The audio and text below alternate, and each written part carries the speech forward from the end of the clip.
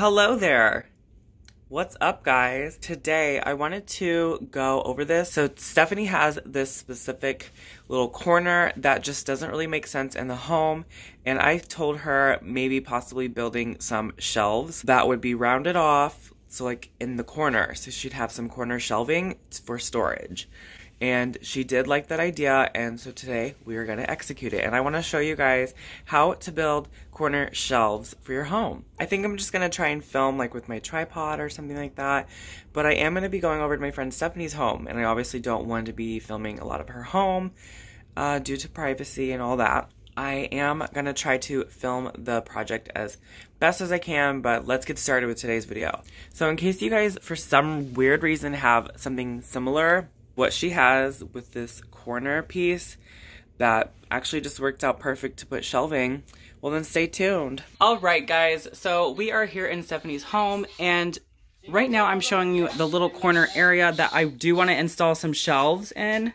So right now we just have some toilet paper right here. So we obviously want to put some cute corner shelves. So we have lots of storage for the bathroom.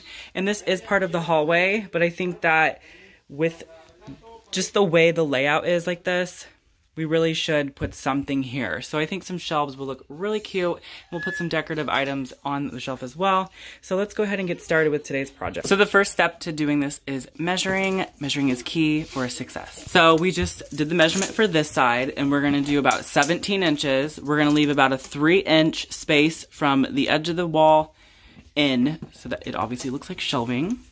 And then from here, we're measuring about, we're gonna again go in about three inches or so. I would say the spacing from here to here and not the trim. So we could do it again about 17. Yeah. So we'll do 17 by 17 is our measurement. Now we are gonna cut about four or five of these and we are gonna round off the edge so it's not super square or anything like that so you don't run into with the shelving when you're walking by because again this is part of a hallway. So this will come out and then it'll be rounded. Super nice. So we're gonna be using this Black & Decker jigsaw. We got this on clearance I believe at Menards for about $29 and you can go ahead and pick up a big pack of these blades. This was about $22 and you get about every blade for any project, so it is a good deal. You're also going to need a leveler and a tape measure and then a Sharpie or pen or pencil. Here is our piece of plywood that we're to work with and this is about this is about one inch thick plywood. This was free plywood, so just use what you guys got. We're to be measuring out 17 by 17 and then that is to create our square. Then we're to round it off to create the edging. So I'm thinking we are going to actually use these pieces for the little ledge that the shelf will sit on because these are not going to be floating shelves, unfortunately. We are just going to create just simple shelving, but I am thinking about not going quite 17 inches for the piece that will hold it up. I think we're going to go about 15 inches. That way it's kind of hidden back as far back as possible.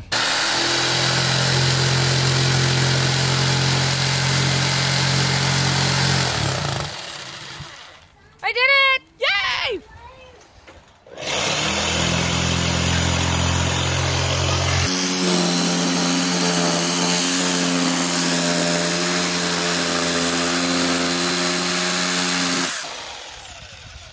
I went off the line a little.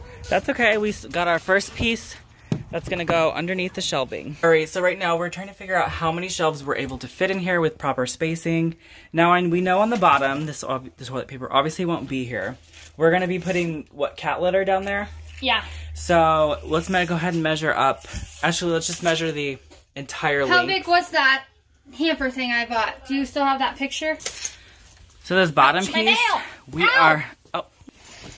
Okay, so the bottom shelf, we actually have a cat litter bag. Well, a bag that will fit the cat litter in.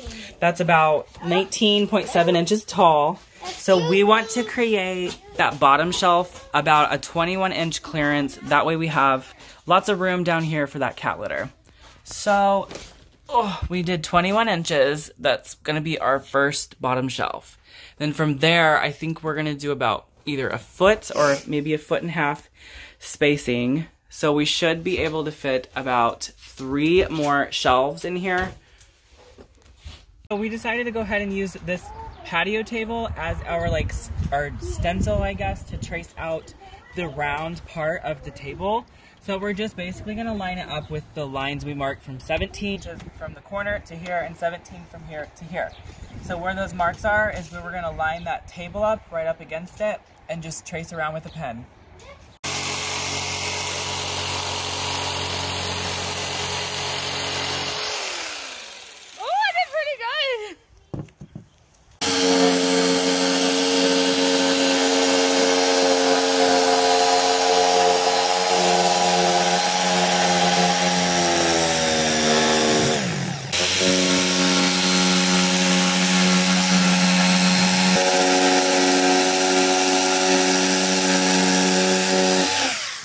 Much got the piece cut out, but for some reason this thing was kind of like jerking me one way, which I missed the cut line. I do think it looks nice, but it's obviously, I don't know if you can see this here, I'll turn it around. This little piece here, I just need to go back over this right here on the line, just in this little section, and then we will have our corner shelf. Now we're gonna just go ahead and give those pieces a really good sand sand them down. So right now we're gonna go ahead and start putting the shelving system in. We have our little bracket thing we made to hold the shelf up. So we again, we went three inches or so away from the edge. So right here is about three inches. And then we have our leveler just to make sure that it is nice and level. So I'm just trying to make sure that it does look straight. I think that looks nice. We have the first shelf put in, so we just put our pieces in, measuring about three inches from the side and over here as well. Put our two pieces in that hold the shelf. So now it's just laying on top and I'm gonna get some finishing nails. And we're just gonna put the finishing nails along the edges right here, just so that the shelf is nice and secure. Once we are done installing all the pieces, evenly spaced, we're gonna paint them white. We went ahead and installed the rest of the shelving and we have five shelves, corner shelves. So what's left to do is paint this and put your baskets and everything else on here. So all I did was put two screws in the back to anchor it and then I put a nail in the front of each side just to anchor it down into the little piece we cut here so it's nice and sturdy and it won't just fall off. And then here's our spacing down here is about 20, 24 inches or so. So we have lots of space down here to put our cat litter or anything else we want to disguise and put away. And then put baskets and things like that all up on these shelves. And if you want to paint this, go ahead and paint it. Make sure you sand this down, paint it. Obviously do the sanding prior to installing this. And when you put the nails in, I just use finishing nails about an inch and a half long. Make sure they don't obviously come out through the bottom here. And the same thing with your screws in the back. I went in at an angle slightly. That way they would go into the wood and not split the wood. And as you're going down each one, just do your measuring from the top shelf down or vice versa with the measuring and don't install your top piece this piece here, you know, the round, the shelving. Don't install that just yet. You wanna get all your little bracket pieces on first and then start with the bottom shelf and work your way up. That way you're able to get in here, do your screwing, your nailing, and then go to the next one.